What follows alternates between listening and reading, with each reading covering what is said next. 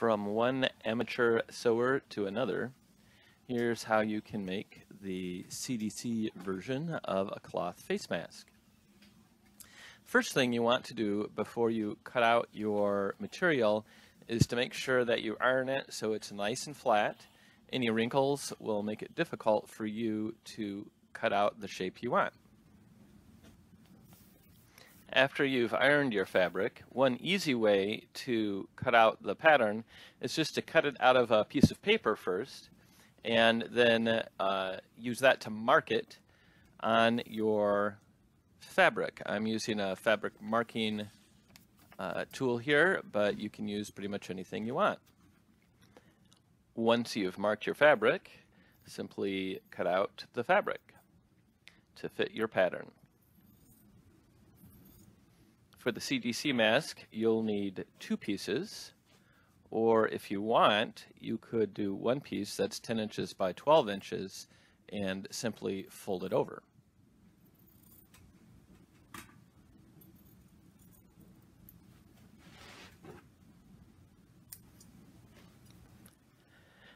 If you want to make a whole bunch of masks at once, you can just use a yardstick to mark and cut out long strips of fabric that you then can cut to shape instead of uh, marking and cutting them one at a time.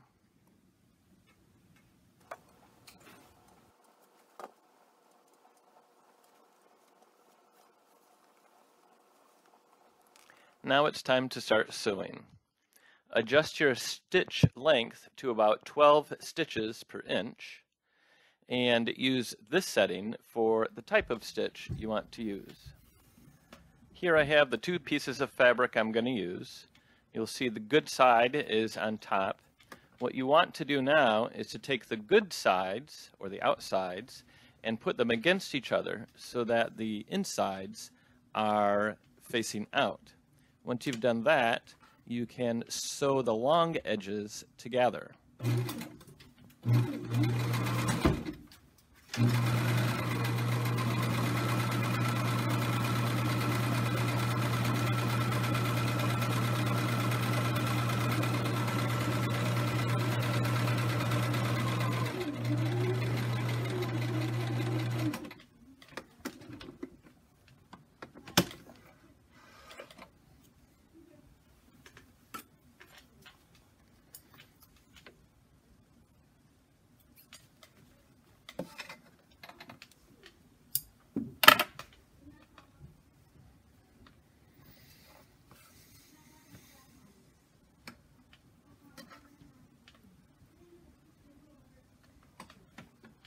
Once you've sewn the first long edge, then sew the other long edge. There's no need to backstitch on these edges at this point since uh, the short edges will be folded over anyway.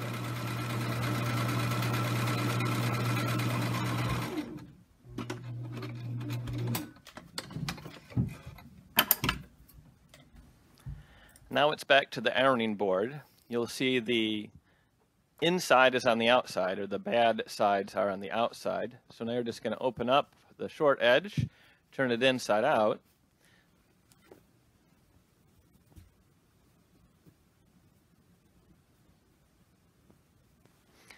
Now you'll want to iron these edges. That'll be puffed up now because you sewed them uh, inside out. But you'll want to iron them down now so that they lay flat and then you'll go over this one more time and uh, do one more stitch there to hold that seam firm and steady.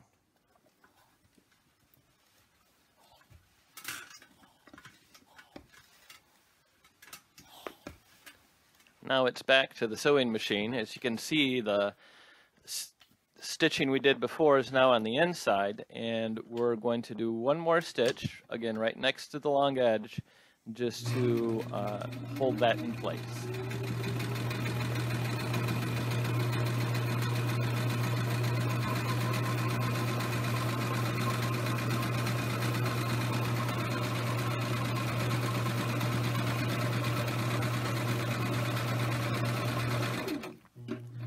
Again, there's no need to backstitch on the ends of uh, this seam because the short ends will be folded over later.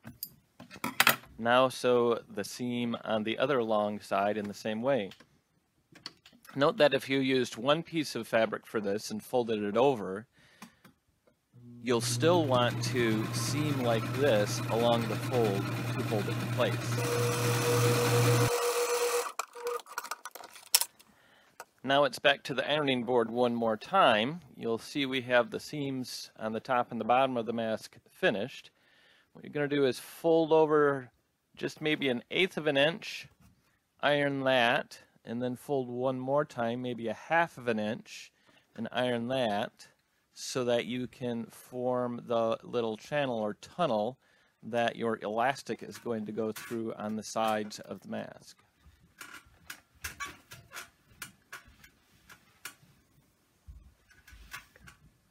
So that's the first little fold and then do a, a, larger fold, maybe a half an inch or so. Little fold is now inside and iron that to form that tunnel and then we'll go back to the sewing machine.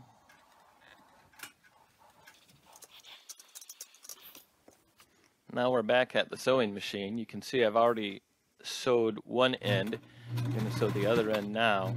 You'll notice that I start a little bit from the end of the mask, so toward the end, back stitch, and then with the needle down, I'll turn it around. That just makes it a little easier when you have multiple layers of fabric like this to get it started without the fabric bunching up. You're sewing right along the kind of inside edge of that folded over fabric to form your tunnel for your elastic make sure that you do back stitch the edges here. And again, if you need to, you can always turn it around to back stitch. Or sometimes if the fabric gets bunched up, just lifting up the foot a little bit uh, will help that.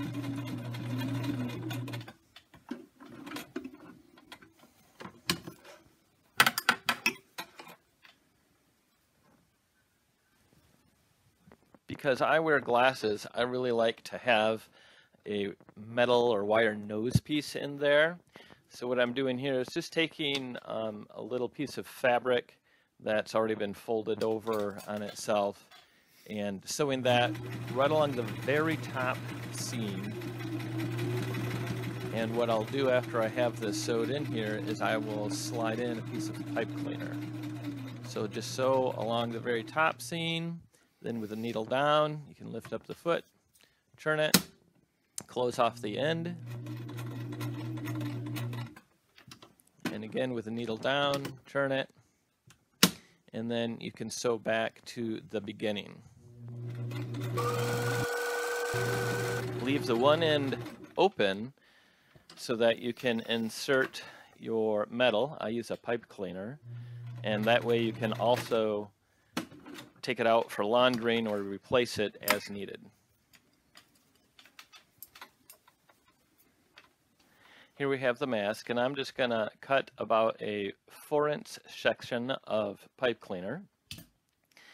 One of the things you want to make sure that you do is take the ends of the pipe cleaner and bend them over so that the sharp ends of the pipe cleaner won't stick out the uh, ends of the little pocket there um, or stick through the fabric and poke you while you're wearing it. Then just slide the pipe cleaner in through that little pocket. There you go. Another way to get a pipe cleaner in your mask to fit snugly on the bridge of your nose is to actually sew it into the mask uh, when you sew that seam on the long edge. So first just place it in there right up against the edge of the mask and then you're, when you sew this seam, you're just going to sew right around the pipe cleaner.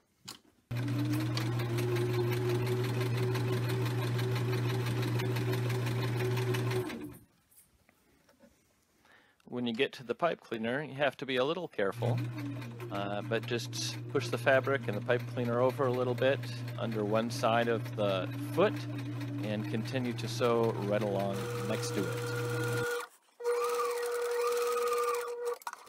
So now you can see we have that pipe cleaner sewn right into the seam permanently.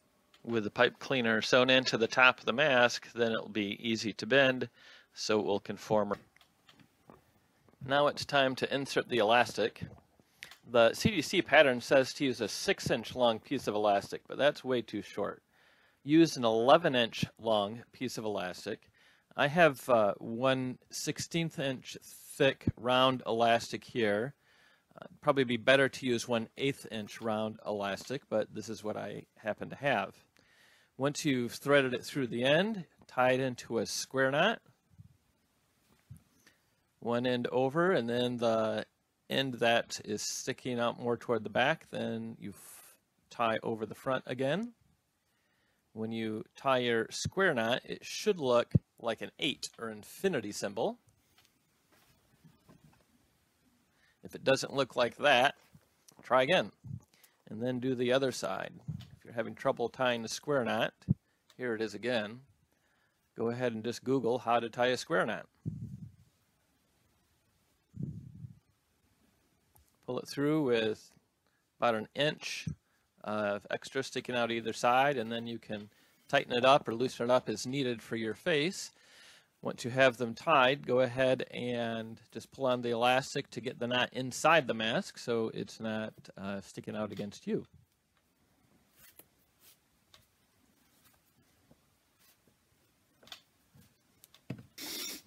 Here we have the finished product. Again, with that piece of pipe cleaner and the little sleeve in this version, you can bend that so it conforms around your nose nicely. Here's how it fits. If you don't have elastic or don't like it, you could use a shoelace. You could thread it through like this, or two shoelaces, one on each side, but then you'd have to sew them in the pocket in the middle. When you use the shoelaces, you just tie them in the back of your head, and it will fit like that. Happy sewing!